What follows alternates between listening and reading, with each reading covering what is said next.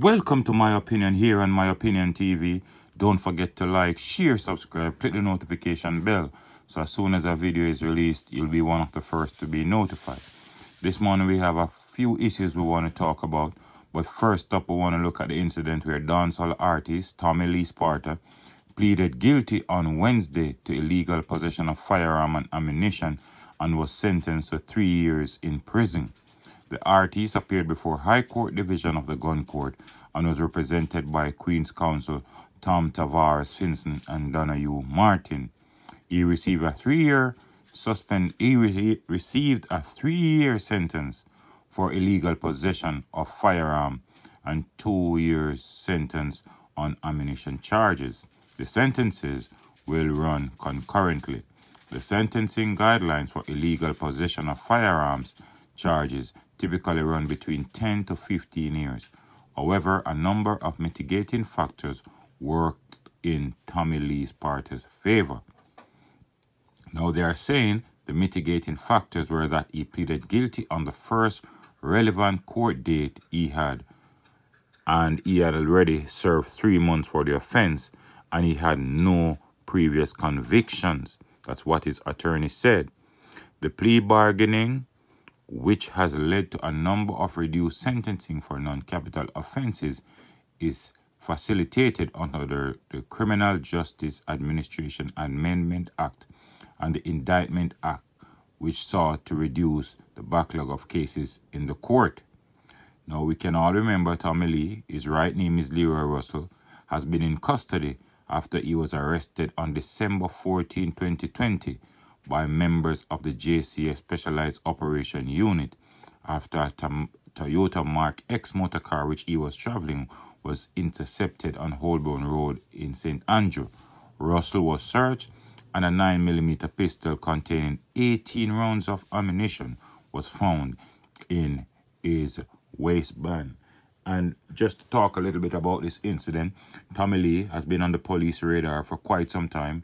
He has been in and out of jail for a, for a good while now.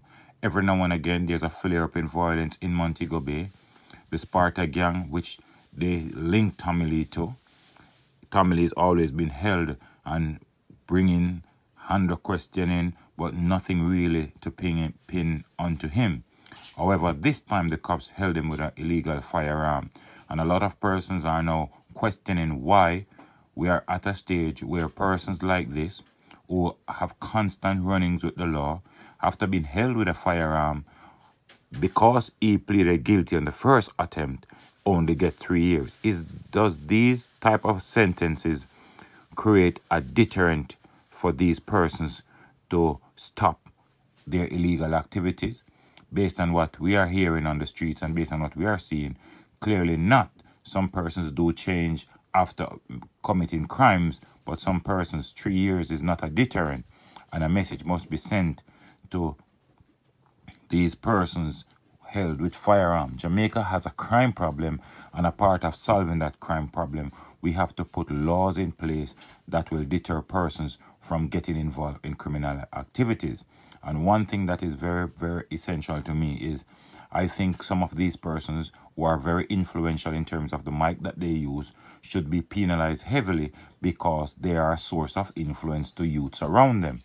And when you have persons like this who has a good following, a good backing from the dancehall community, he should have known what his actions would have caused and he should have known that he's looked up to as a person of influence and being caught into this situation is very un uncomfortable and it sends a wrong message to the youngsters who are supporters of Tommy Lee.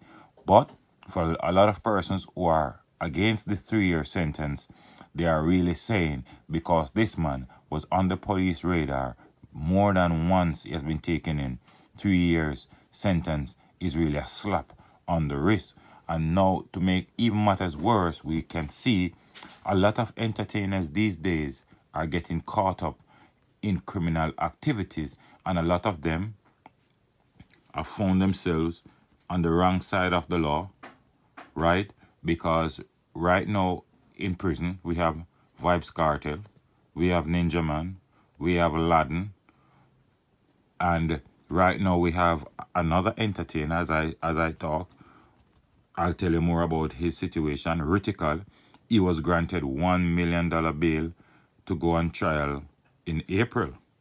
So another entertainer lining up himself to be a part of the prison system.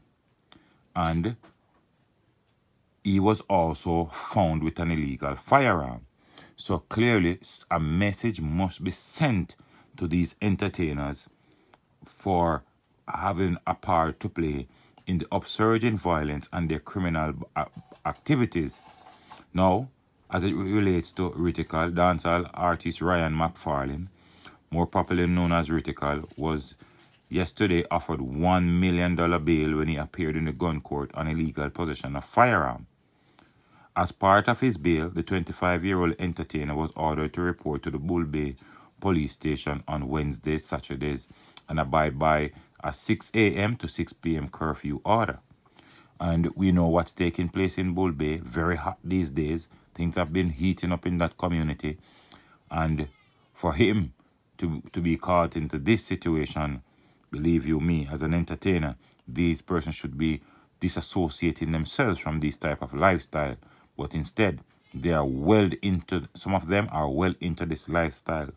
Not all entertainers are like this but especially the upcoming ones, they're riddled with persons who are around them who are involved in criminal activities. is also to surrender his travel documents and the court also imposed a stop order on all ports for him. The police report that on January 28, while on patrol in 8 Miles Bull Bay, St. Andrew, McFarlane was reportedly seen acting in a suspicious manner. Police reportedly questioned the artist and following of his car a Taurus .380 pistol with 12 rounds of ammunition was found. Rytikal reportedly told the police that the weapon was a prop for a music video. He was taken into custody and later charged. So we see, again, as I said, Vybz Kartel, Laden. We see Tommy Lee now joining them, Ninja Man there.